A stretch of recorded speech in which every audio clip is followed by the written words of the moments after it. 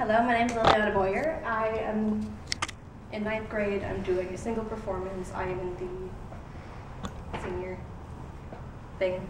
Totally forgot what it's called. I'm sorry. And I'm doing "Look at What You've Done," a witch's Greetings, everyone. My name is Paul Burr. I will be your teacher today. We are going to talk about our ancestors and their fight to take a stand against them being pressed down so far into the ground that, the, that their knees shook and they became one with the earth. But a bit about our practice first. We're going to start about how we are basically into herbology. We do mostly with herbs, and we believe very definitely in karma.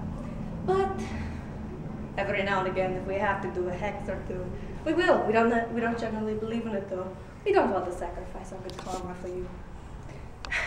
So, without any further ado, let's begin.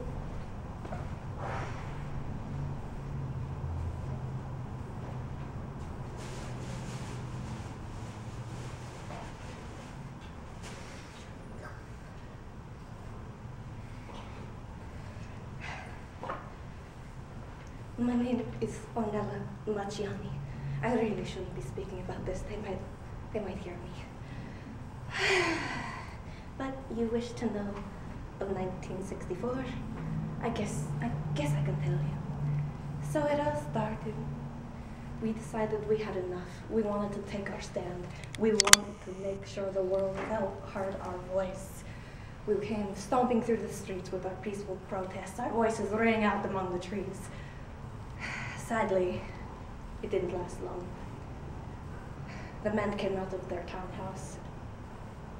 They came yelling and screaming, call, calling us spoiled brats, and we wanted everything. My sister, my sister had had enough of their torment and all of their years of pressing us down. She stood up, she announced her opinion. She just wanted to speak out for the rest of us. Sadly, she got shot down. She was someone we could all turn to, someone we loved and respected. She was my sister. Then all chaos broke loose. There was yelling and screaming and burning crucifixes being thrown at us. We, we didn't know. We were too caught up in all the madness. It was only about an hour later when I realized, I turned to the great wall of flames and I realized our great town was burning to the ground. I tried to turn out to stop. I tried to turn to yell to my sisters and brothers to stop. It was too late. I turned around saw a man with hate and death in his eyes, and then I saw nothing more. I was never able to see anything again.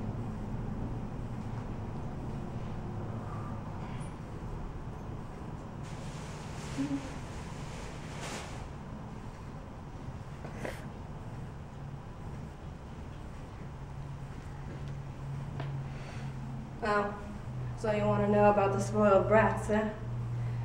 We were just sitting there having a calm, gentlemanly meeting, talking about town stuff, you know, what real men do. And then we heard them stomping through our little town, screaming like the spoiled toddlers they are, taking a stand they said they wanted. more, it was more like whining. After many, many hours, we started to yell back. It didn't do much good. There was one girl, she had a pretty face.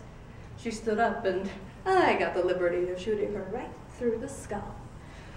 But chaos broke loose and oh well, some men had to die and some men had to stay.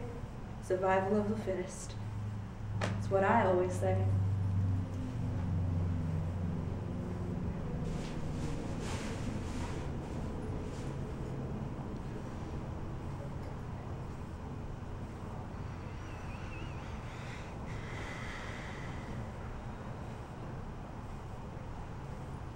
Now, as you all know, my name is Fiona, best Australian witch. Yes, anyways, now, I'm so sorry to tell you, but the end of the story isn't so pretty. Ornella lost her eyes. Christopher eventually to burn, thank God. but we did fail to take our stand. Sadly, all our all our efforts weren't enough. But finally, finally, after many years, we are finally getting the equality we deserve, the equality we always wanted. My brothers and sisters can now practice in peace, and we can all stop all this madness. We can now practice because everyone is getting a general idea that we aren't here just to hurt them. finally, finally. I shall now end this as everyone knows, is my signature. Peace and blessings. Love, Fiona. I'm out.